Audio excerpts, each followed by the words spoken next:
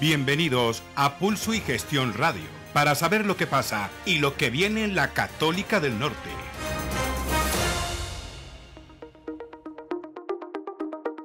Nuestro saludo muy cordial para toda la institución de la Fundación Universitaria Católica del Norte, con la alegría de encontrarnos para esta entrega de Pulso y Gestión Radio, correspondiente a hoy martes 14 de noviembre de 2023. Aquí está la información. Iniciamos con importantes noticias desde la Academia Nive. Fabián, Viviana, estimados oyentes, buenos días. El próximo jueves 16 de noviembre en las instalaciones de la Universidad Bolivariana se realizará la reunión final de docentes de Educación Superior UCN 2023.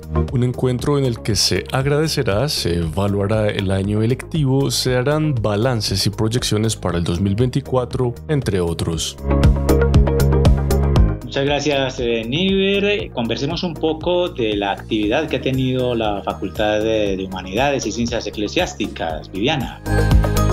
Así es, Fabián. Recientemente, el padre Julio César Caro Lopera, decano de esta facultad, sostuvo una importante reunión con los sacerdotes de la diócesis de Cartago, donde pudo dar a conocer la propuesta formativa de la Católica del Norte también tuvo la oportunidad de reunirse con el señor obispo Monseñor César Alcides Balbín Tamayo, oriundo de nuestra diócesis de Santa Rosa de Osos, y con el padre Eber Humberto Garavito Cardona, rector del Seminario de Cartago.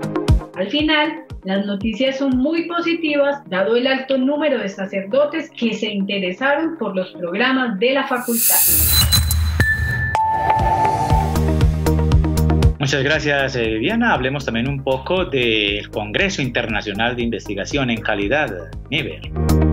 Fabián, la Católica del Norte, con otras instituciones de educación superior, participó en la organización y desarrollo del sexto Congreso Internacional de Investigación en Calidad, que tuvo como tema central transformación digital como soporte a la gestión de la calidad.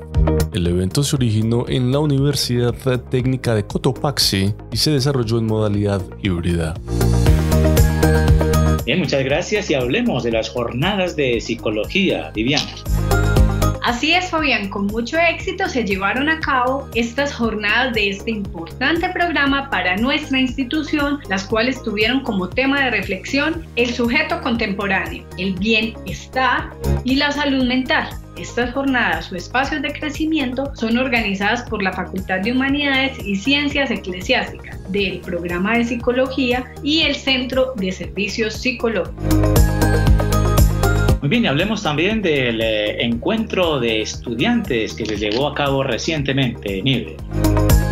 Sí, Fabián también tuvo lugar en días pasados y con la presencia de 156 participantes, el decimotercer encuentro virtual de estudiantes llevado a cabo a través de WhatsApp, una modalidad que ha venido tomando mucha fuerza dada la agilidad y las amplias formas de participación.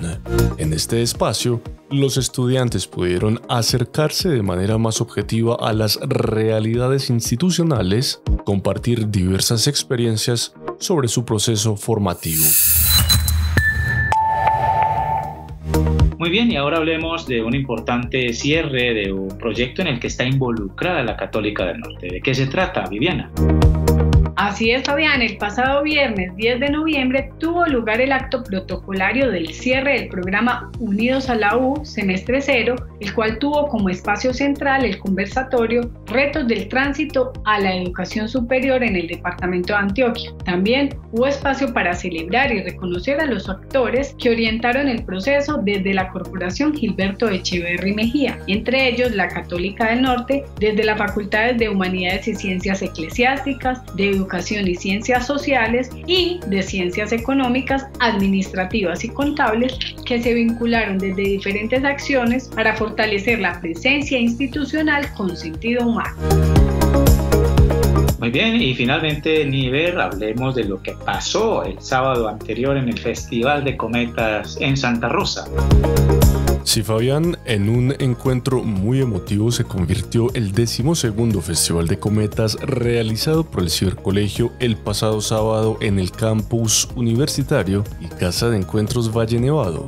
Esta versión del Festival de Cometas enmarcada en los 20 años del Cibercolegio tomó el nombre de Monseñor Elkin, quien fuera nuestro obispo diocesano y gran canciller fallecido el pasado 8 de julio y tuvo como lema una voz por la familia, la vida y la paz. A su vez, este festival tuvo como centro la celebración eucarística, el encuentro familiar y la entrega de reconocimientos, entre otros.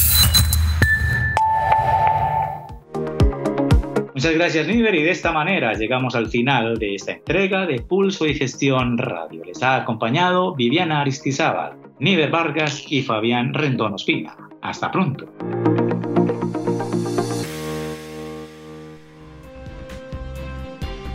Pulso y Gestión Radio. Una estrategia Focus.